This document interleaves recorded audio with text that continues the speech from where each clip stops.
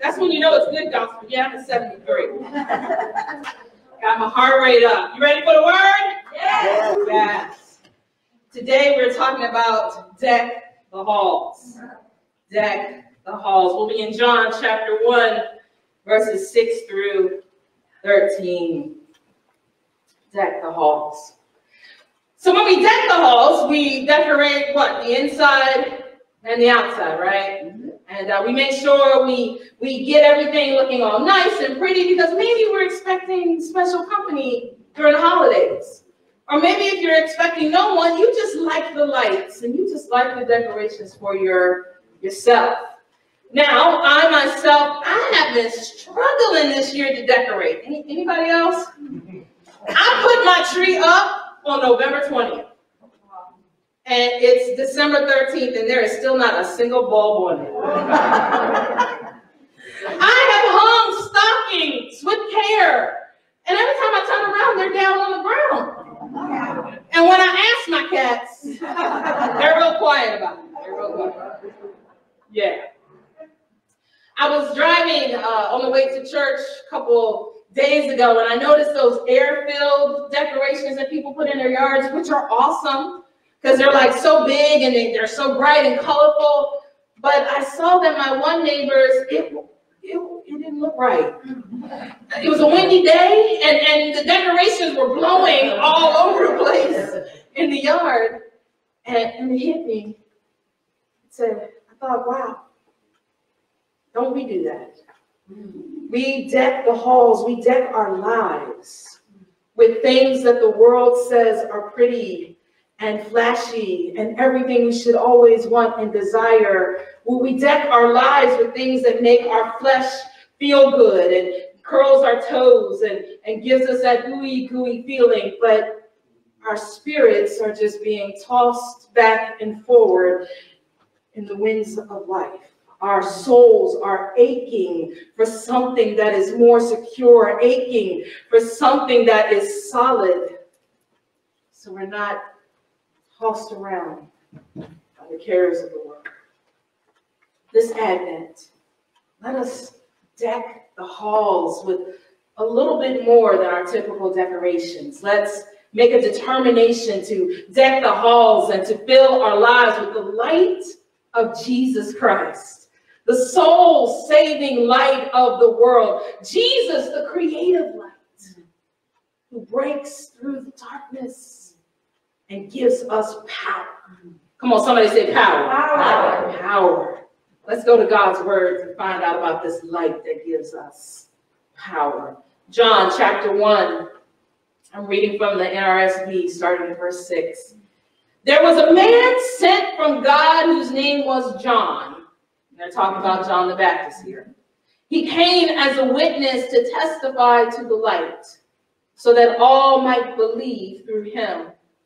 He himself was not the light, but he came to testify to the light, the true light, which enlightens everyone, was coming into the world. He was in the world, and the world came into being through him, yet the world did not know him. He came to what was his own, and his own people did not accept him. But to all who received him, who believed in his name, he gave power to become children of God, who were born not of blood, or the will of the flesh, or the will of man, but of God. The word of God for all people. Thanks be to God. One thing I love about John the Baptist is that he is secure in his identity. Yes, he was called to do a great work. Uh, he was called to uh, do a great work for God and for the community, preparing the way for the Messiah. He was a witness, though, to the light. He knew his role and he understood God's plan for him. His identity was straight. And he made sure everybody knew, look, I ain't the light. Mm -mm. I am not the Messiah. I'm not even the second coming of Elijah. No, I'm just John. I'm just the voice of one crying in the wilderness, make straight the way of God. John was a witness called to testify to the light, a witness called to deck the halls and to display the true light, Jesus Christ. You see, when we turn our, our faces to the true light, it enlightens us. It illuminates the truth of who God has called us to be, our true identity in God, so that we don't have to fake it in front. We can be authentically who we are. As we engage with the light of Christ, we will see, see clearly if we are a disciple or if we are not a disciple. As we turn our face to Jesus, we will see clearly if we are living like a child of God or if we are not living like a child of God. Galatians 3 says, We are the children of God through faith in Jesus Christ. Romans 8 tells us if we are led by the Spirit of God, then we are the children of God. The Spirit Himself bears witness with our spirit that we are children of God. Our text in verse 12 says it like this But all who receive Him, all who welcome Jesus into their lives, those who believed in Him, that Jesus really is a wonderful counselor, a prince of peace, a mighty God, an everlasting Father, all who receive and believe, he gave power. Power to become something better than, I don't know, a social media influencer. Power to become something better than rich and famous, something better than bold and beautiful. For those who receive and believe, he gave them power. many of us, for the past nine months, we felt powerless, right? We felt like things are so far out of our hands. Things open and then they close. People come and then they leave. And, and things are changing faster than we can even keep up. We feel like there's nothing we can do about it. We feel a little powerless these past nine months. But the good news the good news is that we can have power, God kind of power, power to reveal the light, power to do something, to still make a difference, even through a pandemic, to, to make a difference in our own lives, but also in the lives of others. For when we receive Jesus and believe in his name, we get the power to become children of God. Children of light, children of hope, children of joy and peace. John the Baptist, he never got it twisted while he was out there in the wilderness crying out. Even when he became popular and folks started coming to him in, in, in droves, he was so popular, he even had his own band of disciples. Yet he was still solid on his identity. That didn't go to his head. He knew that there was one greater than he who was coming, and he kept pointing to the future of the one who was to come. You see, truly knowing who we are in Christ empowers us to be the authentic witness and to testify with conviction, to testify with, with authority. And we know who we are in Jesus Christ. See, a witness testifies what they have seen, right? Whether it's an accident or if you're in court, you testify what you've seen. They tell what has happened. That, and sometimes they share what's going on currently, right? And we need witnesses in our community and in our lives who will share what God has done, who can study the, the books and the history and, and can tell of God's wondrous works back in the day. And we need witnesses who are aware and have discernment to say what God is doing right now. But I believe the Spirit of the Lord is raising up a generation, people who will not only see and witness and testify what happened in the past, they don't just know what's going on in the, in, in the present. God wants to use them to speak and testify and declare what will come, what shall be in the future, what God's activity might be down the road. You see, Advent season is all about pulling back the veil and seeing into the future with faith, hope, joy, and love.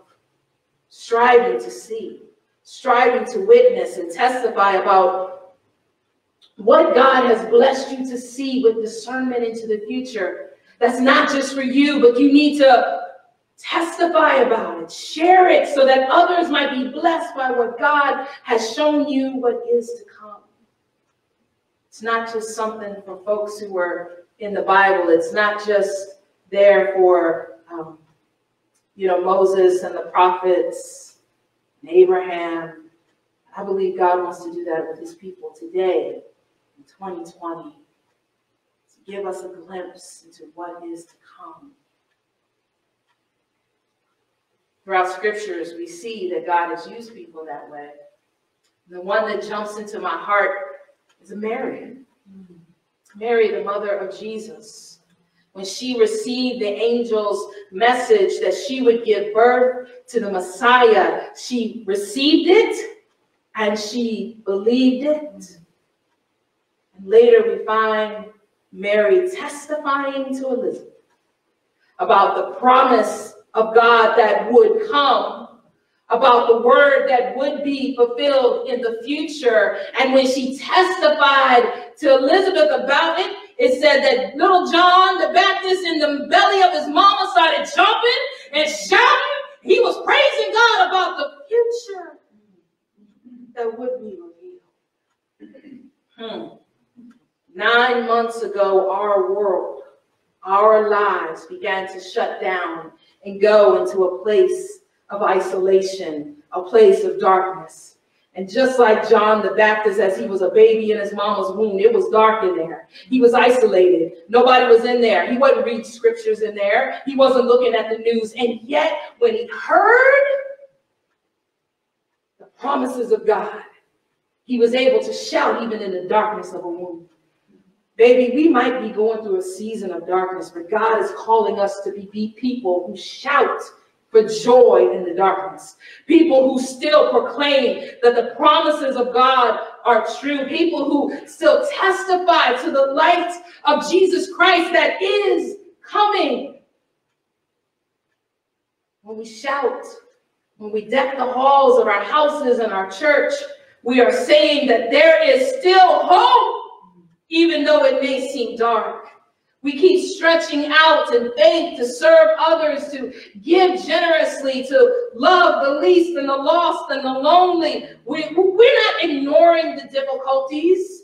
We're not saying that, you know, the bad news isn't real. We're just shouting in faith that, baby, that still is good news. We are shouting in faith, although it feels like you're sitting in darkness, there is a God of light and love and hope that wants to bring you out of that darkness and into his marvelous light. We deck the halls. We're saying that Jesus is coming. The light, T H E E, the light. Better than what we can buy at Walmart. or we can put on our trees, or we can even light the altar. The light is coming. Jesus Christ. So let's walk Let's walk in the light of the Lord. Let's, let's deck the halls with the fruit of the Spirit. Let's walk in the light of the Lord and the children of God today and forever. Amen. Amen. Let's pray. God, we thank you for the opportunity to deck the halls. We thank you, Lord, for the challenge testify and witness to your light even in dark times. We don't have to fear the future, Lord, because you are with us wherever we may go. Thank you for the truth of your promise. Thank you for the truth of your word. Let it be real to us this week. In the name of the Lord Jesus Christ, we pray. Amen.